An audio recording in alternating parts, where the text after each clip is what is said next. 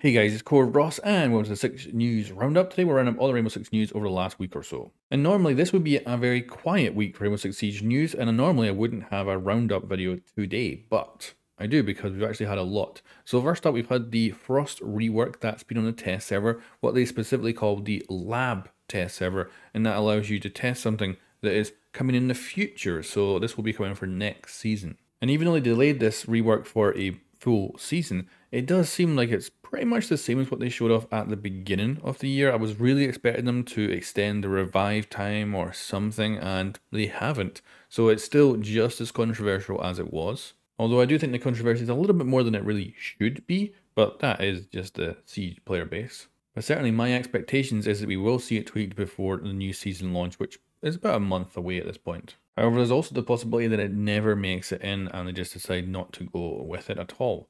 Up next is a patch date. So we know that we're getting the 0.2 patch on June 27th. If you've been following Rainbow Six Siege for a very long time, you know that they don't usually let us know ahead of time that patches are actually coming. Sometimes it's the day of the patch that they actually let us know. So quite interesting here that we're getting a 0.2 patch on Tuesday. And the only feature we know about this patch so far is that it's going to get a squad skill calculation update, which from reading it, could be about making the game more balanced. It sounds like if you've got a mismatch of MMR between your party that you're playing with, it'll kind of average it better, but I don't know exactly what it's doing behind the scenes. And of course, we don't actually know the calculation of how that was done before this patch anyway, so it's like, as a player, I've really got no idea what the actual outcome is supposed to be here. I just presume it's supposed to make more balanced games. However, this does reveal something much bigger, which is the next Rainbow Six Siege event. So we got a teaser, which was this, and it was released middle of the week. And because we now know when the patch is coming out, presumably it's also going to launch on Tuesday. We'll probably get a trailer on Monday. And this is the return of a previous Rainbow Six Siege event where you throw throwing knives all over the place. And presumably the gameplay will be updated a little bit, and of course more paid packs as well.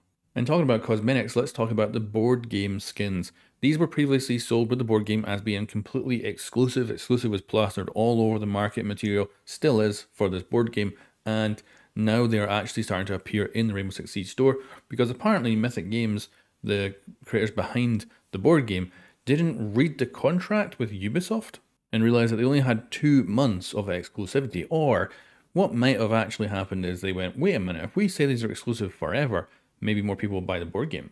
So these are now starting to show up. We've just had the first one appear, which is the Nuke one, and there are seven bundles in total, so expect them to show up. They also have the addition of weapon skins, which were not in the original bundles too. But I did a video on the Core Ross, I'm going over these because they were actually selling on uh, eBay for $600 for the bundles. So these things were the rarest and most expensive skins in Rainbow Six Siege, and now very shortly everyone will be able to buy them for relatively cheap as well. But let's now jump to console. So Mousetrap has been bypassed. I've done a full dedicated video on this, but the basics are that the detection system is still working. It's picking up these people playing mouse and keyboard. However, they have figured out a way to leave the game or something like that at the right time so that they don't get the penalty of the input delay. So they can effectively play with mouse and keyboard, even with the warning up, game after game after game without the uh, actual delay impacting them whatsoever. So there's going to need to be a patch and a fix for this. I don't know if it's going to come with point two or if it will come at a later date.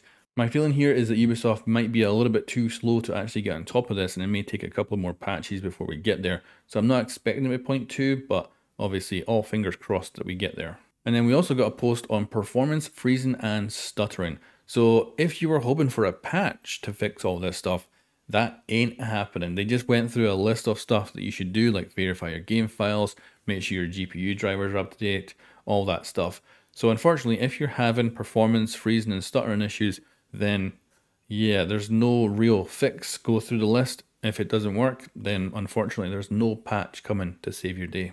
And yeah, that's the news now for Rainbow Six Siege this week. There'll be links in the description below if you want to check out other videos on the Core Ross channel going over the specific stuff, as there definitely has been more than expected this week. Normally, there's nothing. And then this week coming, we'll see what the point two patch gives us, and we should see the event for Rainbow Six Siege kick off as well.